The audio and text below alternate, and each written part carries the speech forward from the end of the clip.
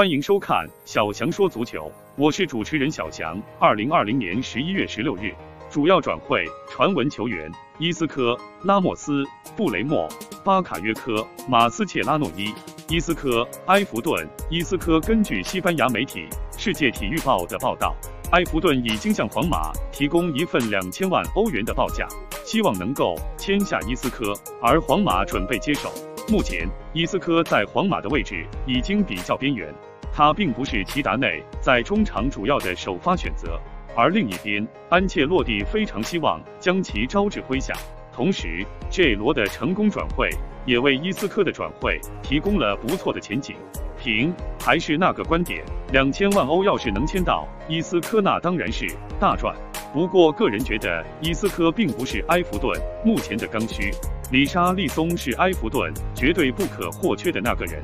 太妃糖还需要在转会市场上寻找一位具有盘带能力的边路爆破手。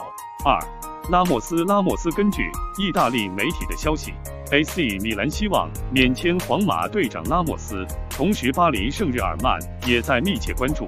水爷的合同将在二零二一年夏天到期，不过他还没有与皇马达成续约协议。拉莫斯希望得到一份为期三年的合同，但皇马还没有想好是否要续约他。在这样的情况下，马尔蒂尼已经出面与拉莫斯的经纪人进行了会面。不过，报道也指出，水爷的要价在税后一千万欧年薪，这对于米兰来说几乎不可接受。凭拉莫斯的状态没得说，还是很稳，基本没什么大问题。不过，中卫到了三十四岁的这个年纪，续约确实得慎重。个人觉得皇马有必要再留水爷一至二年，一是再带一带瓦拉内和米利唐，二是再给自己一点时间去找接班人。米兰的话，水爷的工资太高了。三，布雷默，利物浦。布雷默根据 The Athletic 的消息，利物浦希望在明年冬窗签下都灵的巴西后卫布雷默。目前利物浦遭遇了已经不能用严重来形容的伤病。就拿后卫线来说，范戴克和戈麦斯赛季报销，法比尼奥、阿诺德、罗伯逊均遭遇伤病。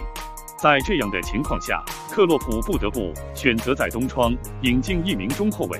现年二十三岁的布雷默，在近两个赛季都是都灵的绝对主力，目前身价仅仅为五百万欧元。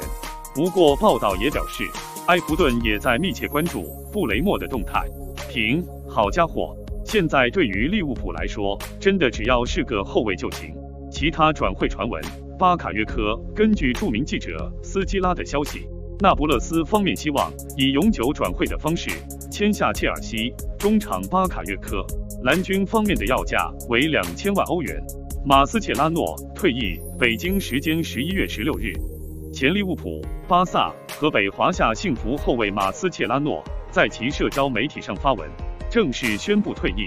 马斯切拉诺的职业生涯开启于河床队，最后在利物浦和巴萨达到了职业生涯的巅峰，并于二零一八年加盟河北华夏幸福。